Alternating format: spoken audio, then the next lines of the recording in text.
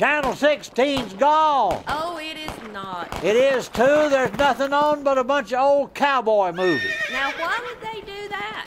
BTN TV has moved to channel 192 on Charter Cable.